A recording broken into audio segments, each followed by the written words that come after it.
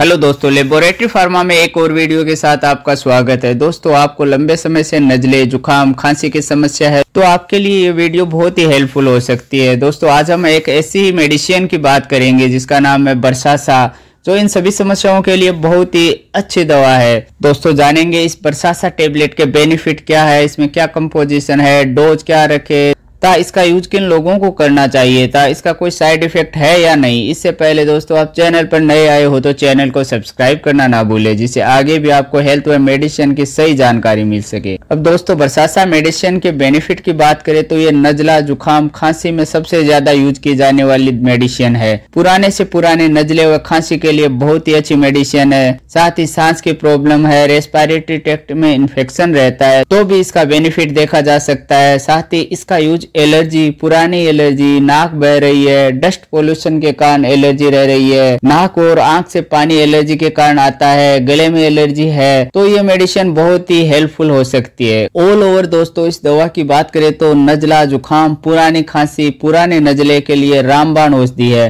तथा ये पूर्णतः हर्बल प्रोडक्ट होने से इसका कोई साइड इफ़ेक्ट देखने को नहीं मिलता है। तथा इसमें सभी इंग्रेडिएंट्स हर्बल ही पाए जाते हैं तथा ये आपको यूनानी मेडिकल स्टोर पर आसानी से मिल जाती है। अब इसके डोज की बात करें तो दोस्तों, एक ग्राम दवा का यूज़ हल्के गुनगुने पानी के साथ रात को सोने से पहले करना चाहिए तथा इसका यूज़ मेल व फीमेल कोई भी कर सकता है।